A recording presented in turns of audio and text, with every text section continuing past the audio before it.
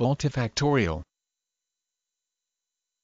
Multifactorial, in medicine, referring to multiple factors in heredity or disease. For example, traits and conditions that are caused by more than one gene occurring together are multifactorial, and diseases that are caused by more than one factor interacting for example, heredity and diet in diabetes are multifactorial. MU L T I F A C T O R I A L. Multifactorial